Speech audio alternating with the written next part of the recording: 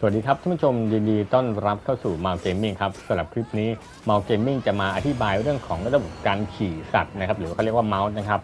การขี่สัตว์ของ Monster Hunter มันจะเป็นระบบที่สำคัญมาก มันจะทำให้ monster เนี่ยโดน damage ไม่พอแล้วมันจะทรุดลงมาช่วงขณะหนึ่งทำให้เราหรือว่าสมาชิกในตี้เราช่วยกันรุมโจมตีรีด damage ได้ แต่ในภาคนี้มันมี trick หรือว่าเทคนิคเสริมขึ้นมา ซึ่งเดี๋ยวผมจะอธิบายให้ฟังว่ามันมีอะไรบ้างนะครับ เริ่มจาก ไอตัวระบบขี่เนี่ยเราต้องรู้ก่อนว่าเงื่อนไขในการที่จะได้ขี่มอนเตอร์มันเป็นยังไงครับ เงื่อนไขในการขี่ก็คือเราจะต้องโจมตีในขณะที่เราอยู่กลางอากาศนะครับ ด้วยการโจมตีธรรมดานี่แหละ แล้วเดี๋ยวมันก็จะสุ่มขี่มอนนะครับ เดี๋ยวมันจะสุ่มขี่มอน แล้วก็เดี๋ยวมันก็จะมีการโอกาสการเกิดเองนะครับ ซึ่งถ้าเกิดว่ามันได้ขี่แล้วเนี่ยโอกาสครั้งต่อไปมันก็จะยากขึ้นยากขึ้นไปเรื่อยๆนะครับ ซึ่งทุกคนทำได้ก็คือการขี่ไอ้เจ้าสัตว์ขี่นะครับไอ้น้องไก่เนี่ยแล้วเสร็จแล้วกดกระโดดแล้วก็กดสามเหลี่ยมตามตัวอย่างที่ผมสโลว์ให้ดูนะ กระโดดแล้วกดสามเหลี่ยมธรรมดาเนี่ยนะครับ แล้วมีมีจะมันจะมีโอกาสสุ่มเนี่ยสุ่มติดเกาะโดยอัตโนมัติเลยครับอาวุธทุกชนิดสามารถทำได้ครับผม เพราะว่าทำไมผมบอกว่าอาวุธทุกชนิดสามารถทำอันนี้ได้ เพราะถ้าเป็นโจมตีปกติ อาวุธทุกชนิดมันจะไม่มีท่ากระโดดไงเออบางอย่างเนี่ย บางอาวุธคือไม่มีท่ากระโดดเลยอะไรเงี้ยดังนั้นเนี่ยสิ่งที่ผมทำให้ดูเนี่ยคือการขี่สกีแล้วกระโดดตีเนี่ยอันนี้คือเป็นสิ่งที่อาวุธทุกชนิดทำได้แน่ๆนะครับพอคุณขึ้นไปขี่แล้วอะมันจะมีคำสั่งขึ้นมา4ี่ห้าคำสั่งทางขวาบนดูนะ เดี๋ยวผมจะไล่จากข้างบนครับ Weapon Attack ด้วยการกด R1 คือการ R1 เนี่ยคือการแบบการโจมตีด้วยอาวุธของคุณ ซึ่งอันเนี้ยอย่าเพิ่งใช้ถ้าไม่จำเป็นนะครับ ต่อไปคือวงกลมคือเป็นการใช้มีดแทงรัวๆแบบเบาๆนะครับ กดสามเหลี่ยมคือเป็นมีดแทงช้าๆแต่หนักนะครับ กด R2 คือกดค้างไว้เพื่อที่จะเกาะมอนมอนมันจะแบบพยายามสลัดเราอะแล้วถ้าเกิดว่าเราไม่เกาะมอน stamina จะลดเยอะแล้วเราจะมีโอกาสกระเด็นตกลงมานะครับ เสียโอกาสครับ แล้วก็คำสั่งสุดท้าย dismount dismount คือกดสี่เหลี่ยมค้างเพื่อที่จะกระโดดลง อันนี้ไม่ต้องสนใจเพราะว่าคงไม่มีใครกระโดดลง โดยไม่มีสาเหตุนะครับ เรา ประเด็นคือเราจะต้องทำ damage ยังไงให้ได้คุ้มค่าที่สุดและก็มากที่สุด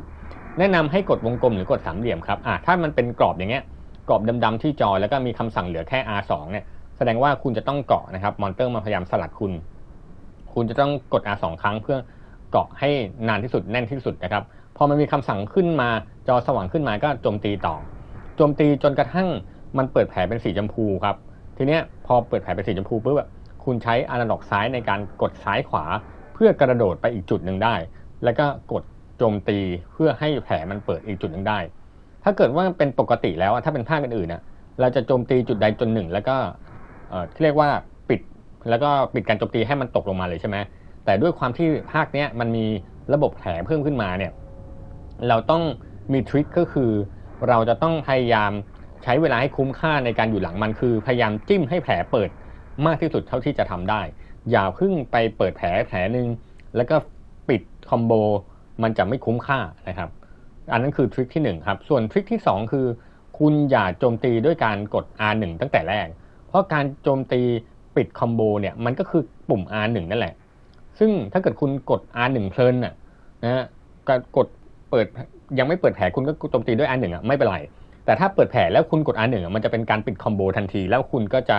โจมตีหนัก แล้วก็ทำให้ monster ร่วงลงมาทันทีครับ ซึ่งถ้าเกิดว่าคุณยังไม่อยากจะลงจากหลังอะหรือว่าเปิดแผลยังไม่ครบทุกจุดเนี่ยมันจะไม่คุ้มค่าที่สุดนะซึ่งเวลาที่คุณเปิดแผลแล้วอะคำสั่ง R1 อะมันจะกลายเป็นคำสั่ง draw finisher สังเกตทางขวาบนครับ ซึ่ง draw finisher นี่แหละมันจะเป็นตัวมึงบอกว่าถ้าคุณกด R1 ปุ๊บเนี่ยมันจะเป็นการปิดคอมโบและก็จบการขี่หลัง แล้วก็มอนสเตอร์ก็จะทรุดลงไป นะดังนั้นนี่คือทริคที่ 2 ว่า ถ้าเป็นไปได้ถ้าไม่ชำนาญอย่าเพิ่งกด R1 ในการโจมตีเมื่ออยู่ด้านหลังนะเพราะมันจะเป็นการเผลอไปปิดคอมโบแล้วก็มันจะไม่คุ้มค่านะครับ ประเด็นใจความสำคัญที่ผมจะสื่อคือ นอกจากคุณรู้เงื่อนไขการขึ้นไปบนขี่บนหลังมอนแล้วเนี่ยคุณจะต้องรู้ว่าคุณอย่าเพิ่งลงมาจากมอนจนกว่าจะโจมตี ศัตรูให้เปิดแผลทุกส่วนครับ ซึ่งศัตรูบางตัวก็จะมีแผลให้เปิด 2 จุด บางตัวก็จะมี 3 จุดผมก็ไม่รู้ว่าในอนาคตถ้าตัวเกมเต็มมาเนี่ย มันจะมีมอนประเภทที่มีแผลให้เปิด 4 จุดไหมนะครับ อันนี้ผมก็ไม่รู้เหมือนกันครับ เออ ซึ่ง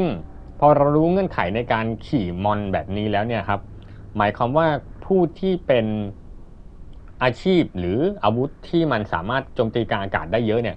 หรือว่ากระโดดได้เยอะเนี่ยกระโดดตีได้เยอะเนี่ยมันก็จะมีโอกาสที่จะขี่หลังมอนได้เยอะ ดังนั้นใครที่เล่นอาวุธประเภทเนี้ยประเภทสายพวกเนี้ยขอให้รู้ตรงนี้เอาไว้นะครับ อย่างไรก็ตามอย่างที่ผมพูดอะยังไงคุณจะเล่นอาวุธอะไรก็แล้วแต่ ถ้าคุณขี่มอนและคุณกระโดดตีอะมันก็มีโอกาสได้ทั้งนั้นนะแต่ว่าช่วงชุลมุนนะมันมีแต่อาวุธที่สามารถกระโดดได้ทั้งนั้นที่สามารถมีโอกาสขี่ได้นะครับ นอกจากนี้เมื่อตัวเกมเต็มเปิดมาเนี่ย มันก็จะมีมอดนะครับหรือวิธีที่ทำให้คุณสามารถขี่หลังมอนได้ถี่ขึ้นง่ายขึ้นอย่างเงี้ยมันก็จะเป็นสายขี่หลังเนี่ยก็ต้องยิ่งรู้นะฮะเทคนิคหรือว่าจุดนี้ไว้ได้เลยนะครับ และเดี๋ยวในช่วงต่อๆไปของคลิปอะเดี๋ยวผมก็จะเอามอนเตอร์นะครับ แต่ละตัวมาเปรียบเทียบให้ดูว่า แต่ละตัวเนี่ยมีจุดที่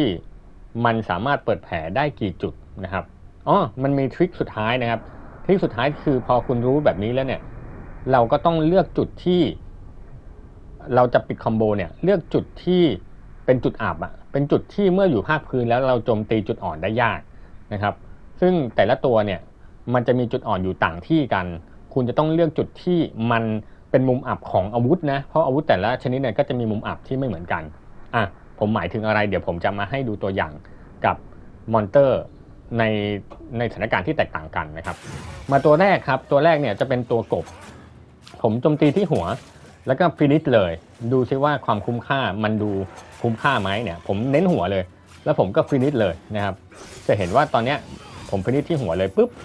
พอมันเปิดแผลปุ๊บผมก็กด R1 จบเลยนะครับ ให้มันล้มลง อันเนี้ยในสถานการณ์ปกติเราทำแบบนี้ใช่ไหมเนี่ยในในสถานการณ์ที่สองนะครับผมโจมตีได้ท่ากระโดดของ ดาบโล่นะครับ ซึ่งมันจะมีท่าโจมตีสามารถกระโดดได้อยู่เนี่ย ผมโจมตีที่หัวนะครับ ด้วยการกดสามเหลี่ยม ไม่ได้กด R1 นะ พอแผลเปิดปุ๊บ ผมกดอนาล็อกซ้ายเพื่อที่จะมาด้านหลังของมัน เพื่อเปิดแผลที่สองครับ แผลที่สองปุ๊บตีมตีไปเรื่อยๆ จนมันแผลเปิดปุ๊บ อ่า พอมันสลัดผมก็กด R2 แล้วผมก็เลือกที่จะเป็นจุดอับ ผมมองว่าเออส่วนหัวมันเป็นจุดอับของผมนะครับ ผมก็โจมตีฟินิชที่ส่วนหัว เมื่อมันล้มน่ะด้านหลังก็แผลของมันก็ยังอยู่ เราก็สามารถที่จะโจมตี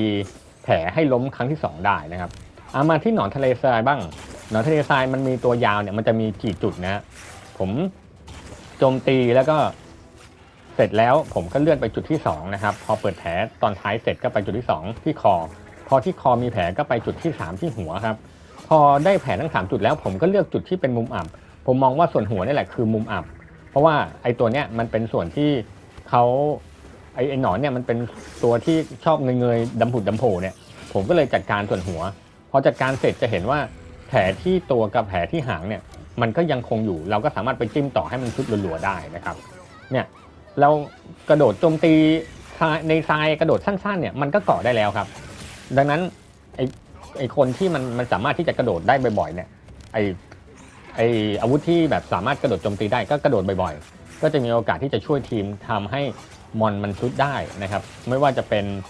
แบบกระโดดเตี้ยยังไงก็ตามเนี่ยจะเห็นว่าผมให้ดูตัวอย่างเนี่ยกระโดดเตี้ยมากไม่ใช่กระโดดสูงอะไรเลยนะครับ แล้วก็โจมตีมั่วๆเนี่ยมันก็มีโอกาสสุ่มติดนะครับเอออันนี้ก็ผมตีส่วนหัวอีกมุมหนึ่งให้ดู